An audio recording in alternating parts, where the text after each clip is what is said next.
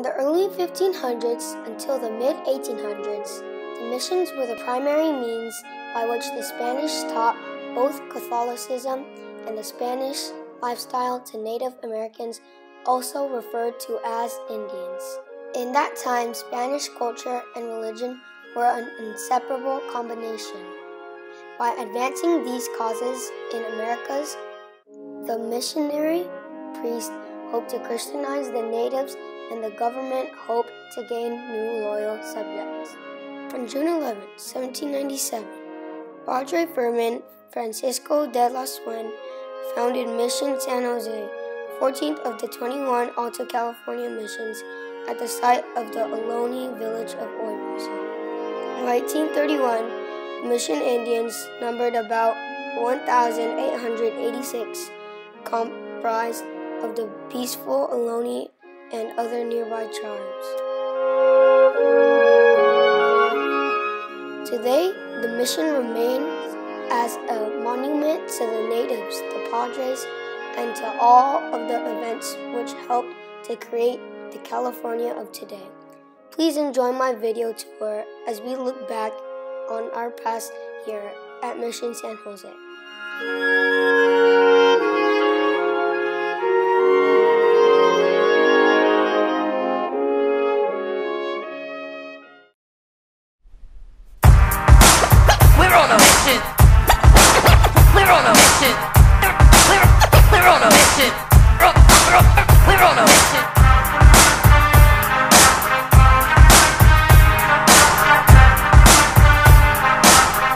Is a mission, not a small top thing.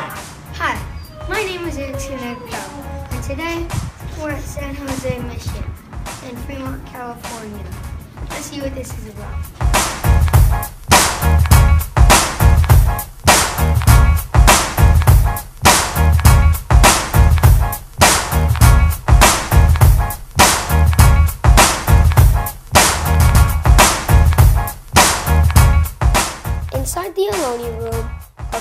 Are Ohlone Indian artifacts.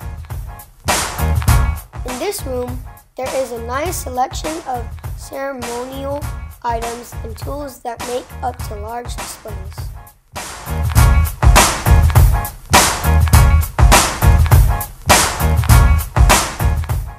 The diorama depicts how an Indian village of the time lived.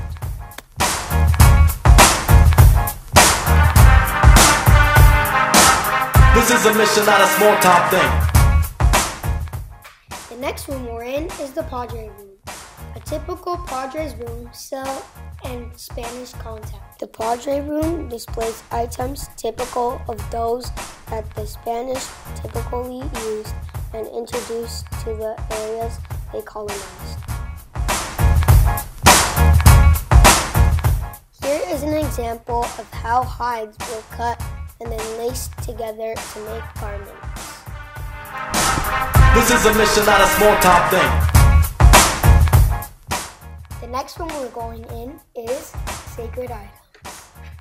It is about church items from the mission period. Inside the sacred items room, there are church items from the mission period. Candles were used for many things, mostly for light, but also for ceremonial uses.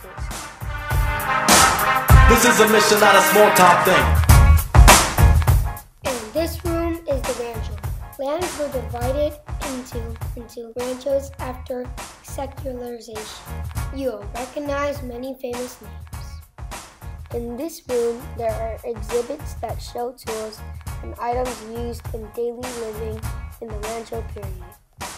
The rancho room also displays many pictures of these names of many pioneer families prominent in early California history.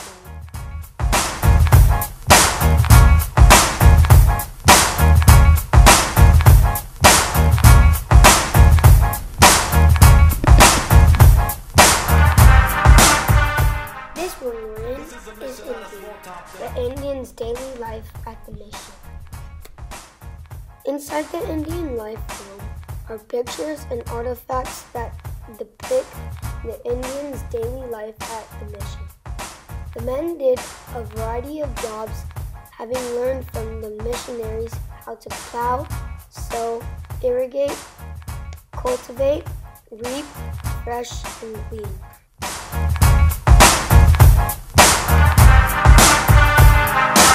This is a mission, not a small top thing. Church of 1809 was destroyed by an earthquake in 1868, and a wooden church replaced it. A small room in the museum is dedicated to artifacts pictures and the Normandy style parish church built after 1868 earthquake. The mission cemetery is to the side of the church where the bodies of hundreds of the pioneers from the mission period, Native Americans, Mexicans, and Spaniards alike rest here. The Mission Church stands as a tribute to those whose efforts made this dream come true. The richly decorated interior follows the descriptions in the historic inventories of the 1830s. In 1985, the restoration of the church was completed by the Committee for the Restoration of the Mission San Jose and the Catholic Diocese of Oakland. It is considered to be a near perfect replica of the original church.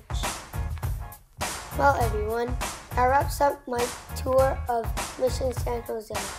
I enjoyed visiting and learning more about its history, and I hope you did too.